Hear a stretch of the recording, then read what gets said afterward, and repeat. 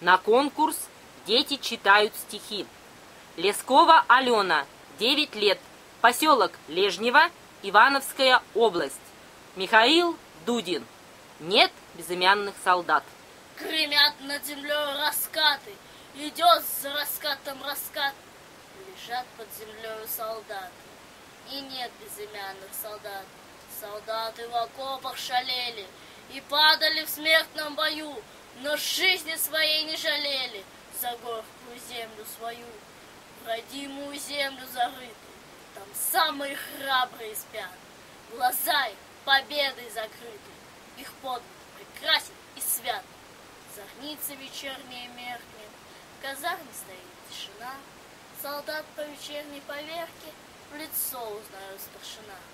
У каждого личное имя, какое с рождения дают, равняясь незримо с живыми, погибшие рядом встают. Одна у нас в жизни присяга, и Родина тоже одна, солдатского сердца отвага, и верность любви отдана. Летят из далекого края, как ласточки, письма любви. Ты вспомни меня, дорогая, ты имя мое назови. Играют гарнисты тревогу, тревогу гарнисты трубят. Уходят солдаты в дорогу, и нет безымянных солдат.